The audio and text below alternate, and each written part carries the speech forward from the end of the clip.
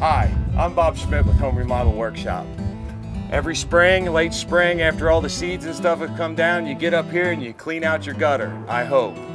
But every year you have to get out that hammer and you have to drive in these loose gutter spikes that come out, seems the same ones every year.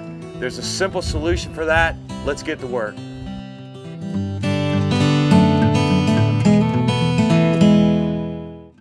Your typical aluminum gutter anchor consists of an aluminum sleeve and a straight gutter spike. Uh, it does have some small grooves in it, for, but for the most part it's smooth.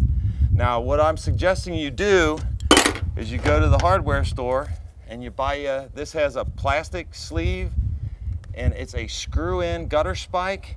These threads are oversized so as to grip into the wood where the gutter spike had already punctured the hole. Uh, if you've ever tried to pull a screw out of wood, you know that pulling a screw out of wood versus pulling a nail out of wood, you got a lot more gripping power with screw heads. Let me show you how to do it.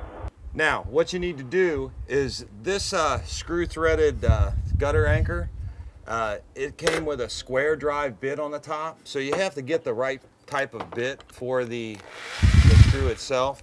What I do is I get it started into the, into the gutter like that. And then either you can take the plastic sleeve that they provide you with, or you can take the old aluminum gutter sleeve that the original one came on.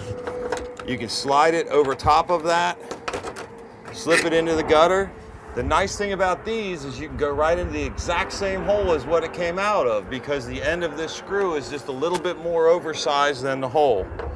Simply line it up, Run it in place. Snug her up. Now you don't want to over tighten it because you'll flex the gutter in too far and it'll look like you got a dink in your gutter. So that should be it.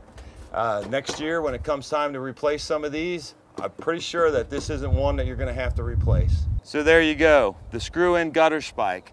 Uh, doesn't make cleaning out your gutters any easier and it doesn't make a but at least maybe it's something you won't have to do again next year. I'm Bob Schmidt with Home Remodel Workshop. If you like this tip, please subscribe. If not, please check out our home channel We have many other maintenance and building ideas there. Thanks.